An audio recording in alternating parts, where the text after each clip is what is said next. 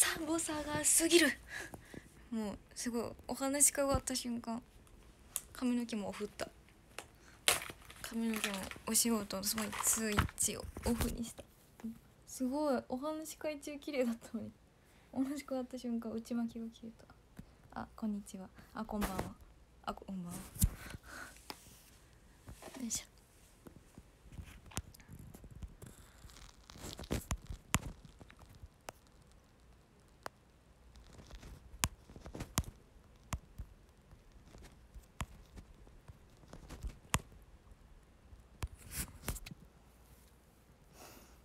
こんばんは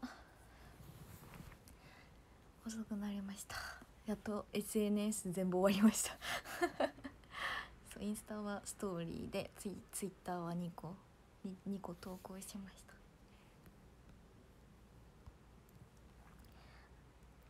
皆様お手紙のお返事お待ちしております。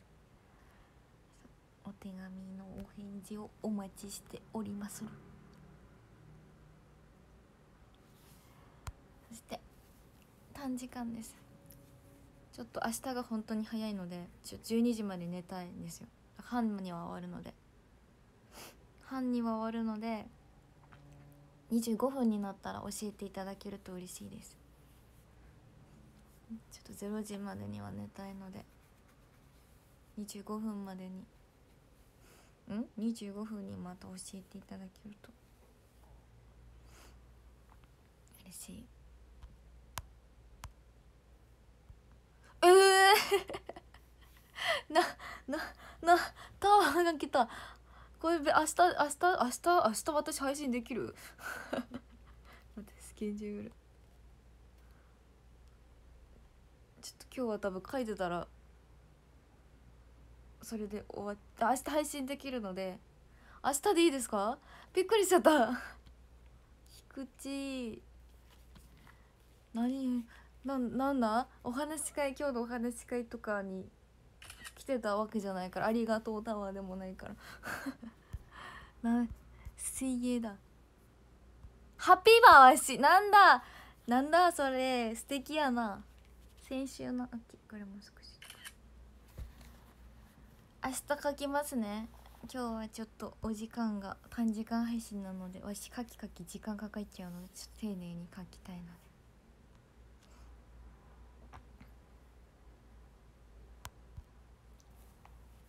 また書いて書いてから配信スタートしてやりますね。ラジありがとう。これはスイミングベアですね。スイミングクマちゃん。スイミングクマタワーと名付けます。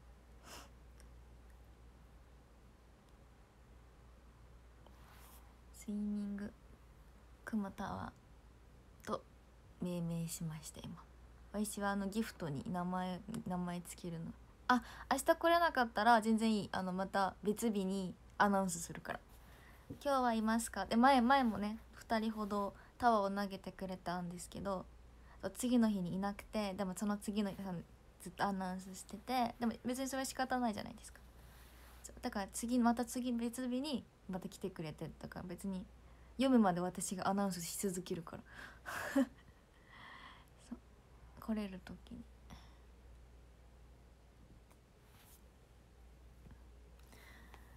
ちょっと髪の毛がボサボサです。先週お誕生日だったのね。おめでとうだ。お話し会も、うん、お話し会楽しかった。ですありがとう全然。今日はそう15日お話し会でした。今日も可愛いです。ありがとう。お話し会。今日は6月11えそうちょっと聞きたいことあるね。後で聞こう。今日は7月10日？納豆の日じゃん。え去年私たち5周年してた日じゃん。去年の5周年の日誕生日じゃん。私納豆の日で周年覚えてるから。今日は話し会で個人的にその6月11日がコロナになっちゃって配信できなかったので配信じゃないわ。お話し会に出れなかったのでちょっと久々みメン他のメンバーより久々の時だったからちょっとめちゃめちゃ楽しかった。そうしかも振り替え別日の振り替えもあったりとかですごい一日ずっとファンの方と交流できたのがとても楽しかったし嬉しかったです。そう。ね久々でしたね。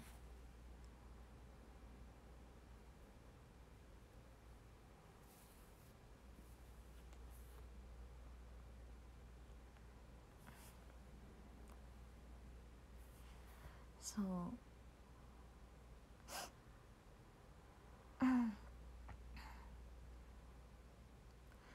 あさってはいっぱいお話あねあの電波悪かって聞こえなかったでしょ。一応あの運営に運営レコード会社さんの方にあの最初から最後までとかなんか別になんか全員が全員できるわけじゃないっぽいんだけどそのなんかそれがそう分かんないんだけどちょっとそこは事情はどうかわかんないんだけど一応その電波が悪かった人はでもあの途中途中からなんか今までの経験上途中からスタートはね振り替えができないことが多いのでほんと最初から最後までダメだった人はあの一応レコード会社さんの方に私からも言ったんですけどそう。竹ピッピさんも最初から最後まであれだったし今までもうやったことない初めての振り替えだから多分できると思うから問い合わせしてみたらいいと思います。そう。もしかしたら17日にできるかもしれないからそ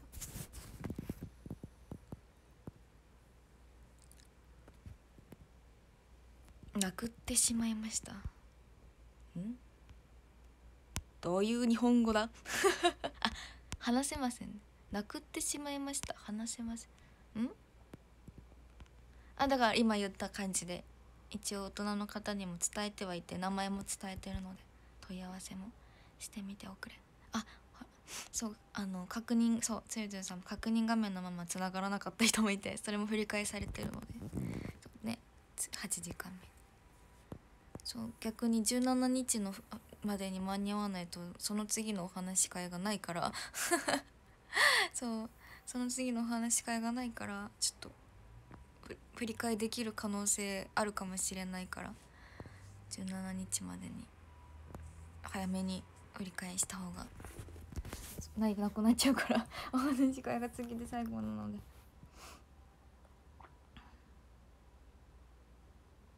そう。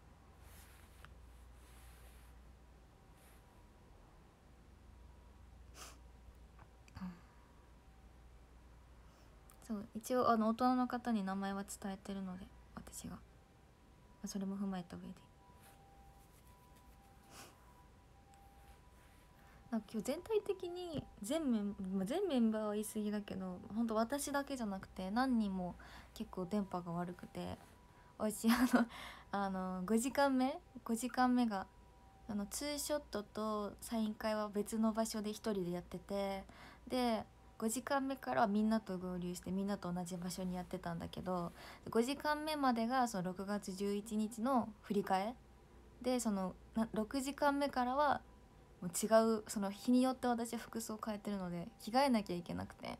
だ結構ファンの方にはあの事前に言ってたの。そのきあの5時間目終わった終わってから6時間目始まるまでに着替えなきゃいけなくて。そんな時間があるわけじゃないからあの早めに来てくれると嬉しいって言ってたのねショールームとかで。そう。言ってたらもう本当にあの結果論で言うとみんなすごい5時間目の皆さんめちゃめちゃ早めに来てくれて過去最高にあのスムーズにあのお話し会の受付が終わってだから結構その受付をしちゃえば結構あの行くいつでも入れちゃうんですよそのおはそう。だから結構いつもお話し会もう人いないんだけど受付した人が数名いて待機って言ってでその数名がその受付をしてしてしてしてるからその待機してちょっと待って来てくれて話したらもう次の時間まであと2分とか全然あるんですよ。なんなら受付してこないっていう人もいるから待ってて来ないっていうこともあるんだけどでもそれに関しては通常のお話し会はま座りっぱなしだしお茶も全然曖昧に飲めるからそれもそれがもう休憩になってるから全然普段は何ともなんか予定とかスケジュールとかももろもろあるよなとか思うか別にいいんだけど今回に関してはそれをされてしまうと着替えられないからそう。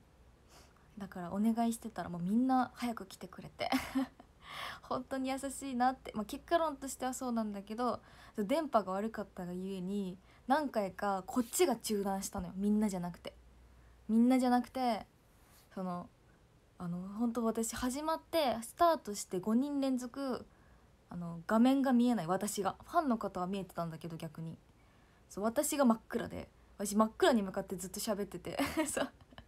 っていうことがあってちょっとあの最初はファンの方の方の電波かなとか思ってたんだけど、まあ、5人続くと違うと思って中断してスタッフさん呼んででスタッフさんが w i f i つなぎ直してとかいろいろやってけどでそっから再開してそっから3人ぐらいは大丈夫だったんですよ。けど4人目ぐらいかまた同じ状況になってきてでもう一回呼んでとかだから iPad 変えてもらってみたいな。みんなが早く来てくれてるのにこっちが中断してお話し会がねそう中断してたかもう焦ってたのどうしようみたいなさ。えあの着替える時間なかったらどうしようとか思ってたんだけどそうまあその iPad 変えたらこまあなんあのギリギリギリギリいけてそうギリギリいけてで多分それでみんなが早く来てくれたかも全然できてあの着替える時間もあってみんそうみんなのおかげ。みんながそういうことをしてくれてなかったら終わってた。ワイは運が良かったんか。ワイはあれだよ。ワイパあワイパッド。ワイは iPad 変えた後の1人目の人だったのでめちゃくちゃスムーズでした。変えた変えてからの1人目でしたので一番多分スムーズだった。でも何回か来てくれたけど全部スムーズだったね。止まってなかったそういう人もいるんだよね。そその方の方の端末も強いとかもあるのかな。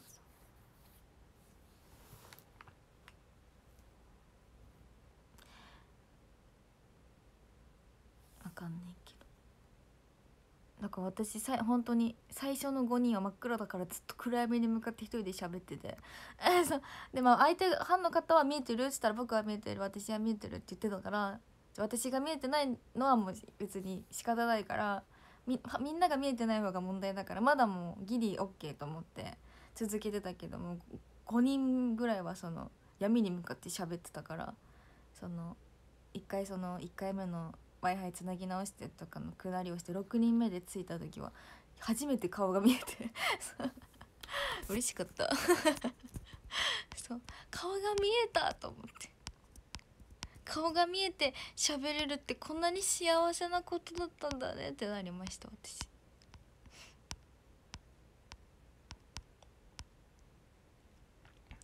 そう。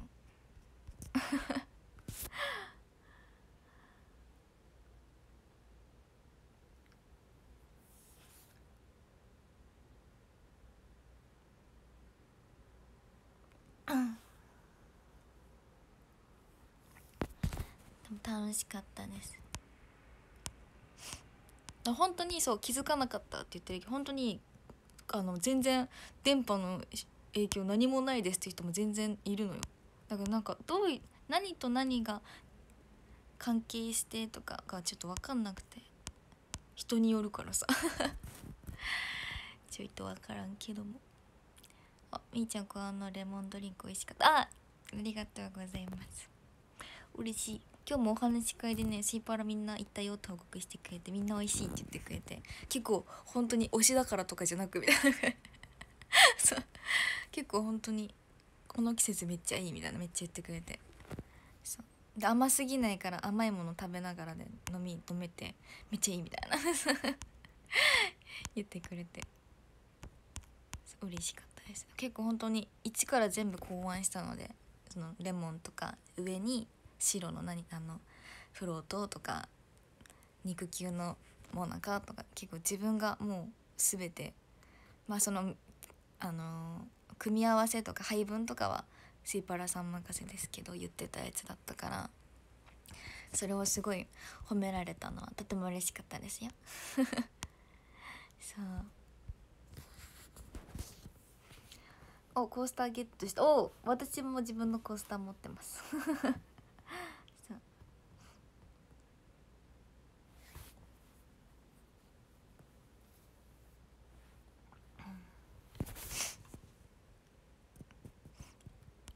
う。うん。そう。明日はスパークですね。山中湖に行ってきます。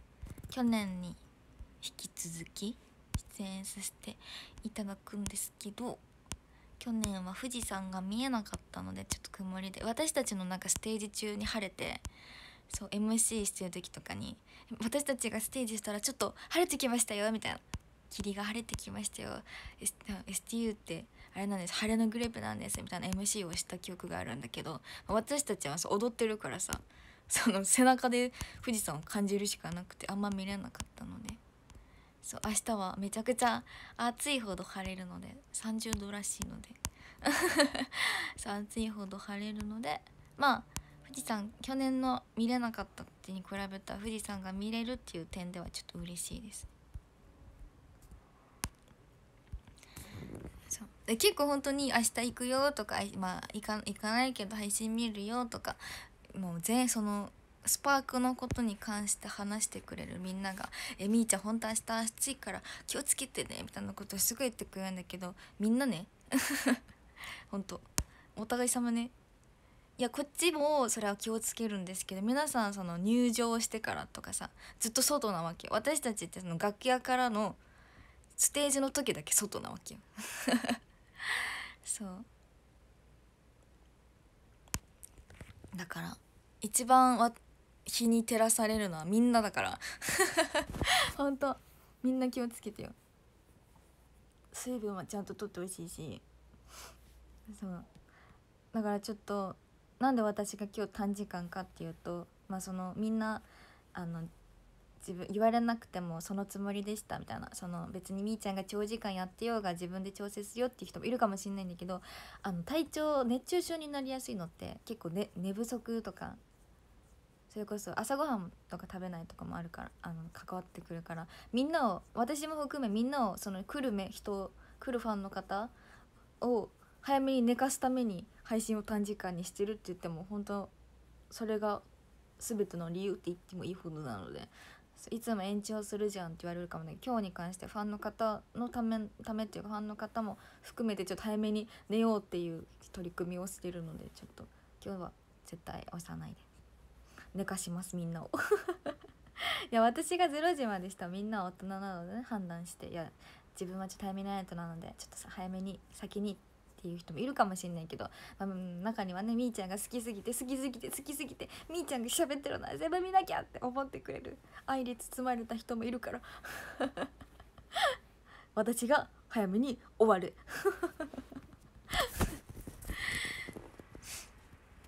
そうそう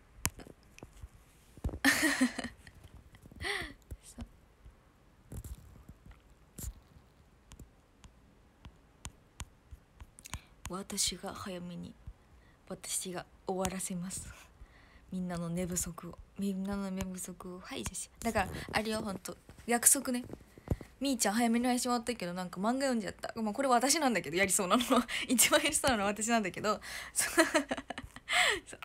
ちょっとなんかドラマ見ちゃった。映画見ちゃったとか。本読なんか小説読んじゃった。とかなんかぼーってしちゃったとか。なしね。私も漫画今日読まないように頑張るから。そう。えあのさちょっと個人的にちょっとモヤモヤしてることがあってさそうさっき聞こうみたいな思ったやつなんだけどさ。えあのさ7月15日今日今日7月15日その235があの6月11の振り替えは合ってるじゃないですか。であで678は5月4の振り替えでもありその振り替えの前あのちょっとお手紙の書き方がちょっとミスったんだけど5月4の振り替えでもあり普通になんか追加として申し込めましたよね。追加としてその5月4の振り替えだけじゃなくてそう。追加としてこの日さよあ申し込めたよね。そうなんかねちょっとなんか討論があって一回。そのファンの方と。振り替えもできるんだけどなんかそのなんで着替えたの？みたいな感じに言われたんですよ。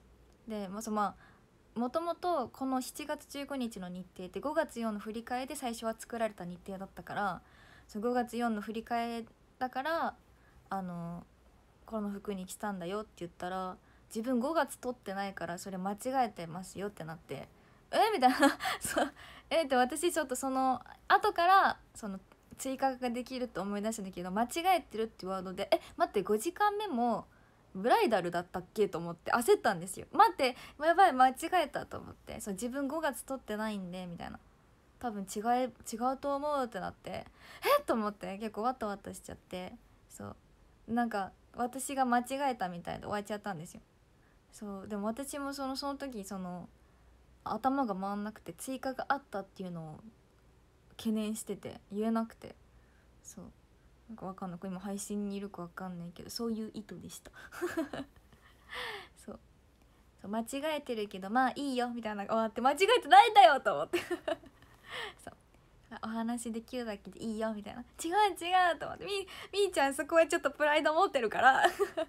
みんなのみんなにあのこのこの服がこの服が見たいと思って撮ってくれてるから。そうこの服が見たいと思って撮ってくれてるからそこはちょっとあのやってるつもりだったから。そうだから多分そう7月15日にあの5月4でそあのみんながみんな全配信見れてるわけじゃないからさその一応配信とかでも言ってたりとか、まあ、Twitter とかでも全てのツイートではないけどちょっと書いたりとかもしてたんだけどこの日も同じ服着るよみたいな。7月15日自体をそう5月4の振り返ってもしかしたら知らない人もいて何の格好をするとかも知らない人もいるんかと思って。そうでもここはプライドだから言わせてくれ。私間違えてないんだよ。そう。間違えてるけどまあ可愛いし。いいよみたいな。違うんだよって。それは嬉しいけどって。私に盲目のあなた素晴らしいと思うけど。私に盲目ありがとうと思うけど。ちょっとそこはプライドの方が勝っちゃって。でもゴッチャになるのも分かるんですけど。分かるからあのその方に対してマイナスな感じは一切なく。ただ違うんだよ違うんだよっていうだけ。混乱ねそう。全然その考えになってしまうのも全然わかるし確か私もあの全全全 SNS をファン時代に置いてたかって言ったらそうじゃないからさ。そうそうそうなんか全然マイナスな感じはないんだけど。ただ私のあのプライドの問題。でも多分あのねそのこんな話をしてるけどだ見る限り別にその時そういうあのそうなってた人人人人人々たちは今日この配信にいないんですよね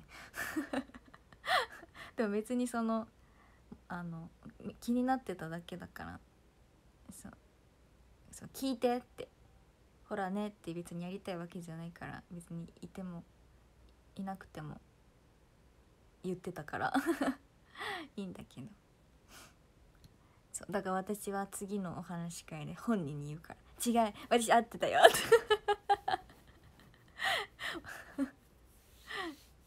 割りしつこいやつ。多分ほもう相手方でも気にしてないのに。みんな多分言ったみんな気にしてないのに。ああそうかだのに。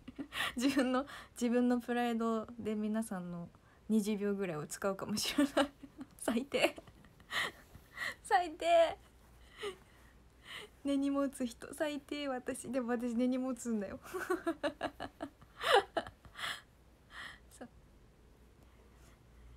そう20秒使う。1確かに1枚分じゃ足りない。あ1枚だったらあの言わないわ。15だったら。基本記憶力いいあいい。記憶力はいいかも確かに。なんか覚えるの早くないんだよ。だから記憶あの結構あ25分でありがとう。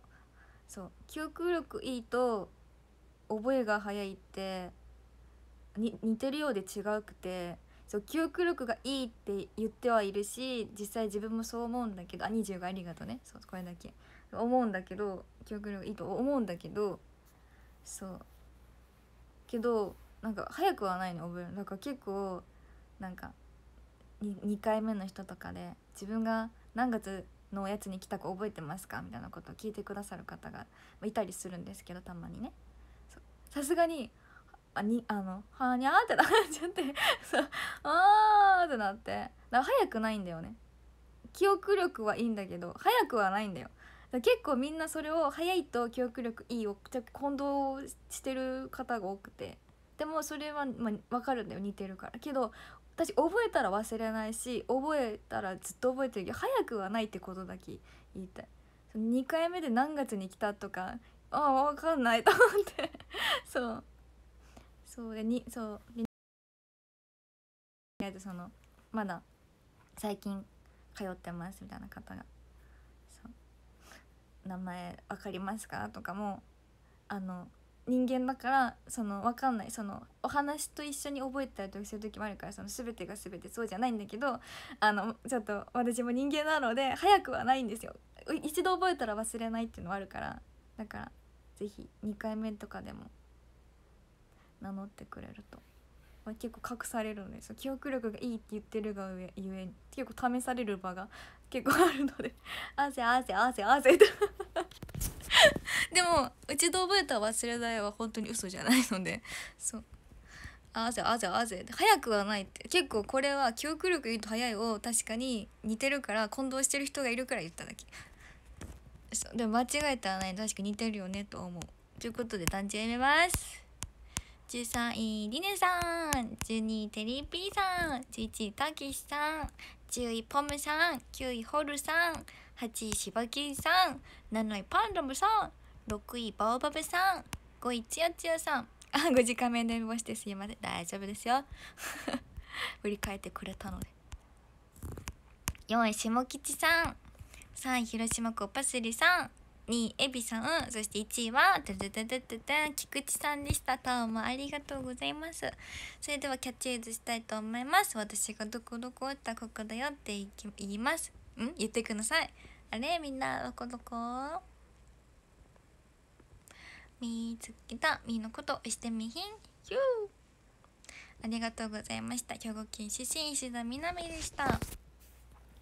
で私ねもうこの7年秘密にしてたこと7年は多く見積もった。6年56年秘密にしてたことがあるんだけどそうなんかその今ねその覚えるの早くないんだよって言ってなんかじゃあ覚える気がないのかなって思う人もいるんだけど56年秘密にしてたけど市販の方をまとめてるノートを作ってるんですよ。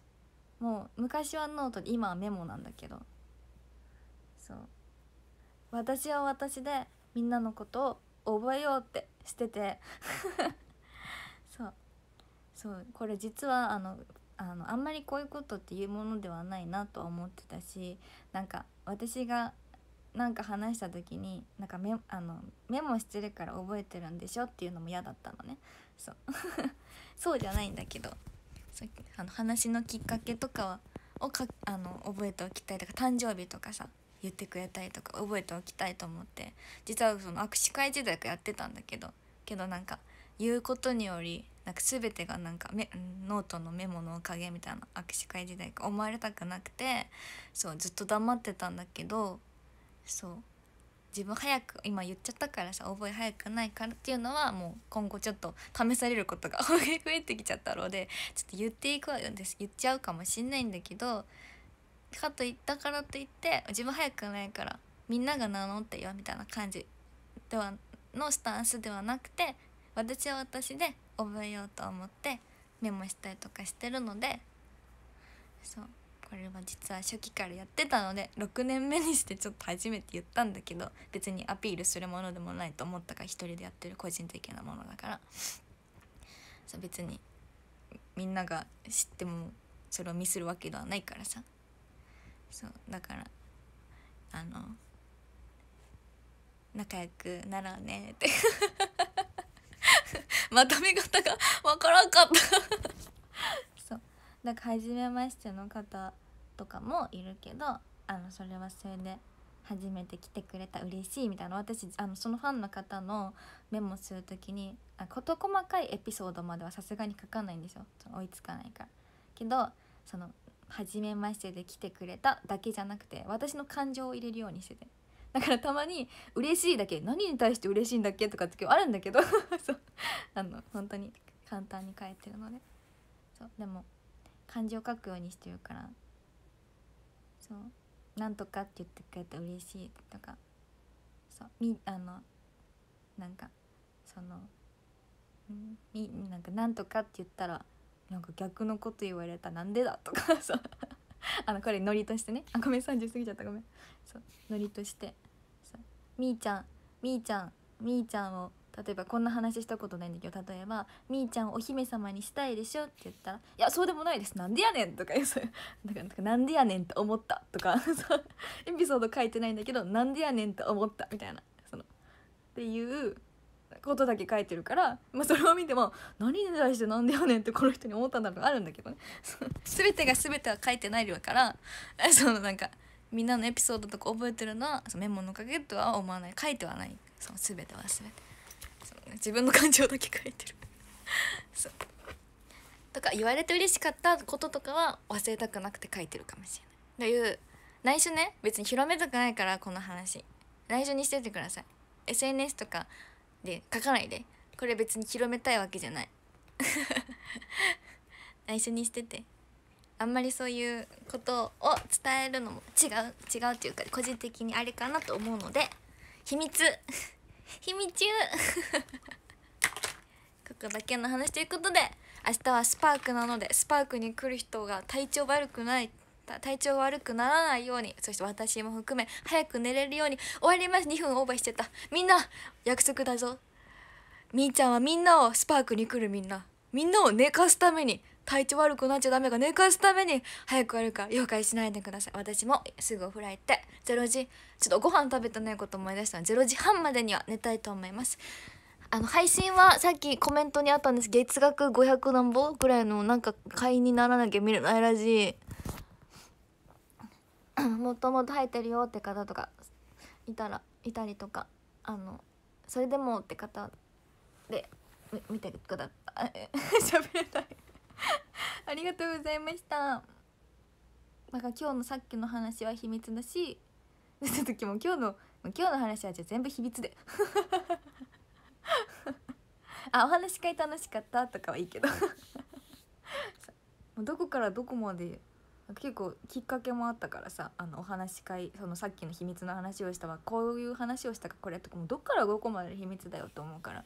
もう今日のじゃ今日の話はそうまだ1,000人未満だし今日来た人限定秘密よバイバイ。全世界に公開しといて秘密っていう。でもこれ本当に私結構あめっちゃですね。結構秘密っていうこと何回かするんだけどあの本当に秘密にされててみんなの みんながみんなの人間性が素晴らしすぎるなと思って。ます以上さよならバイバイ。あバイバイ。明日会う人は会いましょう。